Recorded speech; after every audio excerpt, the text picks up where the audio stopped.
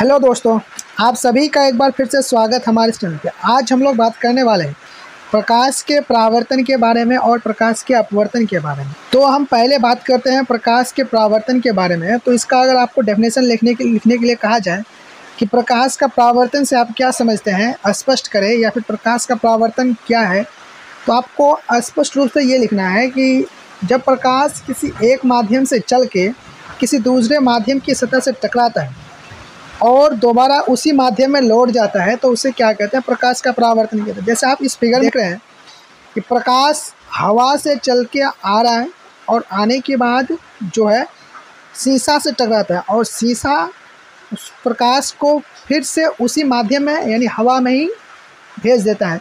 तो प्रकाश हवा एक माध्यम में, हवा से होते हुए आया, आने के बाद शीशा एक दूसरा माध्यम है शीशा से टकराया और शीशा से टकराने के बाद प्रकाश का जो किरण है, वो दोबारा हवा में ही लौट गया, यानी फिर से उसी माध्यम में लौट गया। तो इसे क्या कहते हैं?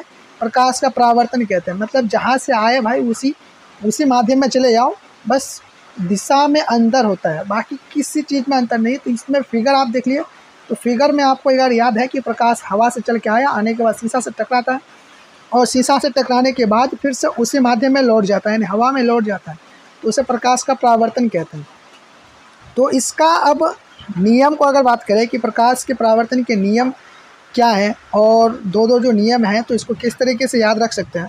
तो इसको फिगर में आपको कुछ नाम याद करना पड़ेगा तो यहाँ पे देखते हैं कौन कौन से नाम है।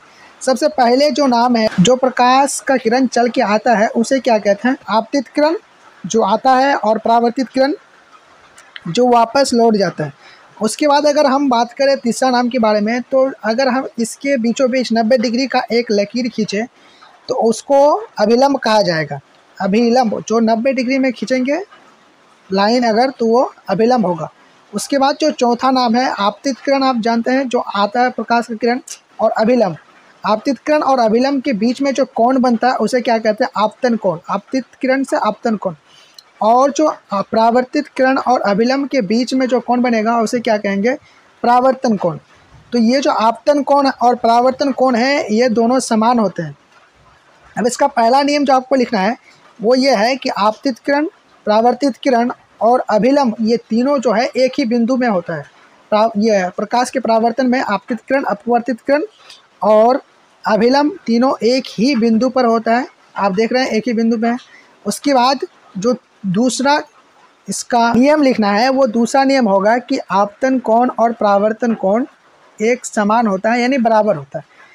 तो प्रकाश का प्रावर्तन क्या है और इसके नियमों को लिखे तो ये आपको याद हो गया। उसके बाद अब बात करते हैं हम प्रकाश के अपवर्तन क्या है और प्रकाश के अपवर्तन के नियम के बारे में। तो देखिए, प्रकाश का अपवर्तन उसे कहते हैं, जब प्रकाश किसी एक माध्यम से चलकर आए और दूसरे माध्यम की सतह से टकराने के बाद उसी माध्यम में, दूसरे माध्यम में चले जाए। दूसरी माध्यम मतलब दूसरे माध्यम में चले जाए, वो वापस ना लौटे। तो उसे क्या कहते हैं? प्रकाश का अपवर्तन कहते हैं। जैसे कि आप इस वीडियो में देख पा रहे होंगे कि प्रकाश की जो एक किरण है, वो आ रही आने के बाद हवा से होते हुए आ रही है और पानी में टक टकराने के बाद पानी के अंदर चले जाती है, वापस नहीं लौटती है। उसकी दिशा में थोड़ा परिवर्तन होता है, क्योंकि पानी जो है एक सरल माध्यम है और जबकि हवा एक विरल माध्यम है, इसीलिए इसकी दिशा में परिवर्तन होता है। तो आप लोग देख लिए कि प्रकाश का परिवर्तन क्या है। इसको आपको लिखना है इस तरीके से जब प्रकाश किसी एक माध्यम से चल के किसी दूसरे माध्यम की सतह से टकराता है तो वह उसी माध्यम में चले जाता है। उसे क्या कहते हैं? प्रकाश का अपवर्तन कहते हैं। अब बात करते हैं हम इसके नियम के बारे में। प्रकाश के अपवर्तन का पहला नियम आपको इस तरीके से लिखना है कि आपतित किरण और अपवर्तित किरण तथा खींचा गया अभिलंब या फिर डाला गया अभिलम्ब तीनों एक ही समतल में होते हैं। ठीक है, उसके बाद दूसरा नियम जो ये है कि आपतन कोण की जया और अपवर्तन कोण की जया। आपतन कोण आप लोग जानते हैं, आपतित किरण और अभिलंब के बीच में जो कोण बनता है, उसे आपतन कोण कहते हैं। और अपवर्तन कोण जो अपवर्तित किरण और अभिलंब के बीच बनता से अपवर्तन कोण कहते हैं। आपतन कोण की जया और अपवर्तन कोण की जया का अनुपात किन्हीं दो माध्यम के लिए। किन्हीं दो माध्यम मतलब एक हवा माध्यम है, एक पानी है। तो दो माध्यम है किन्हीं दो किसी भी माध्यम के लिए हो सकता है। तो दो माध्यम के लिए एक नियतांक होता है। तो ये था आपका दूसरा नियम। तो आज के लिए इतना ही। मिलेंगे फिर अगले वीडियो में। Thank you.